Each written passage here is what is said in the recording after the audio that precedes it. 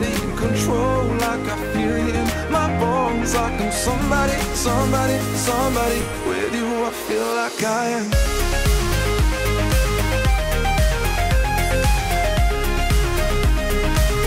What's up guys? It's Saturday morning and today was our breakfast with Santa and our Cars and Coffee the Museum event here at the Kansas City Automotive Museum. The museum is one of my Stephen Cook Media clients and even though the uh, Cars and Coffee Museum events are separate from Kansas City Cars and Coffee, I still help um, you know promote those, uh, do the photos, social media, all that kind of stuff. So it's a lot of fun. Again, sorry, it's been a long time since I last vlogged. You know, I think September was the last time I posted a video, but you know, life's just been super busy. I've been traveling, just been doing a lot of client work, just really happy with how things are going, just staying busy. But anyway, I kind of wanted to vlog today and I have something to show you guys, a couple things that I bought actually, um, but I'll go ahead and show you that here in a minute.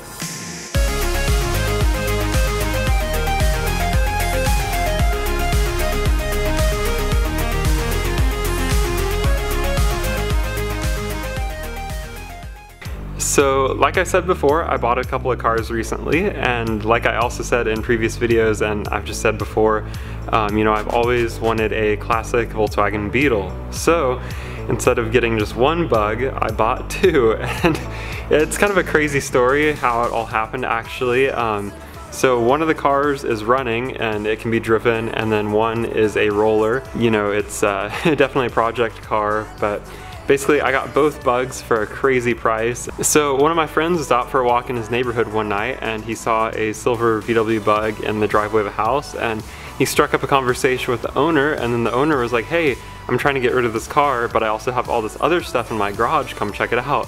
And so he shows my friend and his garage is just packed with stuff. Um, you know, non-Volkswagen stuff too, but he has a whole second car kind of buried in his garage and just it's under all kinds of stuff. You know, there's stuff all in it, it's crazy. Um, so anyway, my friend talks to the guy a little bit more and the guy said he wants it all gone. You know, the stipulation is that everything has to be taken, you know, not just the running car. You know, you have to come back and get the roller car, all the parts and everything, but he just wants it all gone for 500 bucks. And so my friend told me and I was like, holy cow, that sounds like a pretty crazy deal. So I went over the next day and you know checked out the cars and everything. And um, you know the one that runs and drives it's pretty mechanically sound. You know it's definitely rusty. It's got the Volkswagen rust issues um, but that's to be expected. And for 500 bucks I can't complain. But the crazy thing is is you know I got both cars for 500 bucks. They both have titles and there's tons of parts that I got too. Um, you know an extra engine and the guy said he has another one or two in storage um, that he's still yet to give me. Um, you know, I got new glass, new floor pans, just so many different parts, so many stuff I haven't even inventoried yet. Um, but you know, considering that price and just everything I got, you know, you can't go wrong. So I'm out here at the squad garage right now. That's where the roller car is. Um, you know, I've been so busy, I've hardly even had time to do anything with it or even really inventory the parts and stuff. So it's all just kind of out here um, right now. And so the silver one is back at my apartment and there's even more parts in my garage there.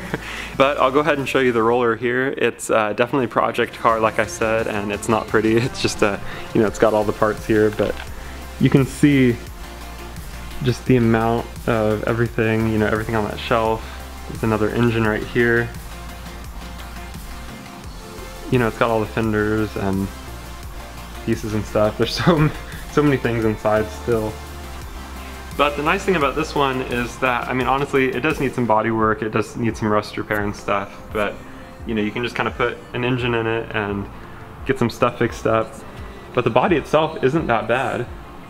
You know, it's got good glass, it's got good seals, it's not dented up. So this one is a 1966 and the silver one that runs and drives is a 1977. So you know there's quite a big difference in the styling between those years and the 66 is definitely the more desirable body style and just the better look.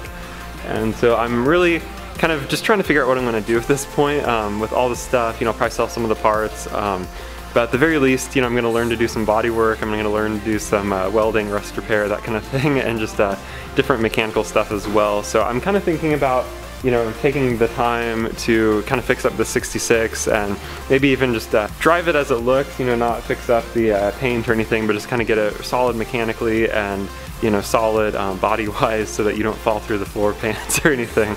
It's like, you know, when I bought the Sable, I got that for 400 bucks, and then now I got both of these bugs for 250 bucks each. So basically the next car I buy has to be under 200 bucks. And also one more thing, um, also kind of why I haven't really done a whole lot with this here yet, or even really, you know, sorted the parts or anything, is that the squad garage is coming to an end, sadly. Um, the end of December, it's going to be our last month here, so uh, some of the guys, they just haven't really been using it, and we all kind of decided that we just wanted to, you know, save that money or just go in different directions. Uh, for example, I have a garage at my apartment, but I might actually get a second garage there. It's a bummer, but ultimately, you know, change uh, can be good, and change can always lead to better things, so I'm excited to see what the future holds. So, you know, honestly, I'll admit that I am pretty bummed that we're not gonna have the space anymore, especially since I was kind of planning on using this to work on this bug. Actually, I figured out that I have enough space to uh, put two cars in my current garage at my apartment complex. That's where the silver bug is, and I'm also actually able to park the Sable in there too. so I've pretty much got two cars in a one car garage right now because the bug is so small. So, you know, I could easily put this bug and the silver bug in a garage together and still have room for all the parts and to work on stuff. So who knows what I'll do, um, but I figured I would kind of show you guys this car while it's here now because essentially I'm gonna have to haul it across town and, you know, pack everything up again. so here it is, where it sits. You know, it's not pretty, but anyway, I'm gonna head to my apartment now and show you guys the 77.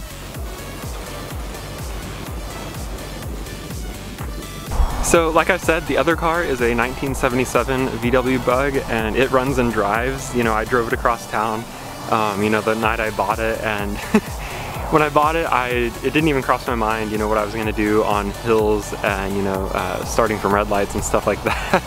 Because, um, I don't know, it was a little bit of both, you know, driver error and just the quirks of the car, but I definitely killed it a bunch of times trying to, uh, you know, start out on some steep hills and stuff and uh, yeah, it takes a little bit of you know getting to learn, and obviously it doesn't have nearly as much power as what I'm used to driving, but nonetheless, here it is. And you know, it's not pretty, it still needs body work too, and it has its rust issues, but again, for a running, driving Beetle for, you know, basically 250 bucks, you know, like I said, I'm not entirely sure what my plan is with both of these. I might wind up, you know, putting more time and resources into the red one. You know, before the night I bought it, I had never actually driven a Beetle before, and you know, I'd ridden in them, I knew that I fit and everything, but I had never actually driven one, and even though it says fuel injection on the back, this car is actually still carbureted. It has a older motor in it, so that opens up a whole nother, you know, list of quirks, um, you know, owning a carbureted car. so, but, you know, nonetheless, it's such a small car. It's, you know, a fun car. I can tell it's a lot of fun, you know, even as carefully as I've been driving it just because I don't know, I don't want to push it and break something and then wind up, you know, stranded or something like that.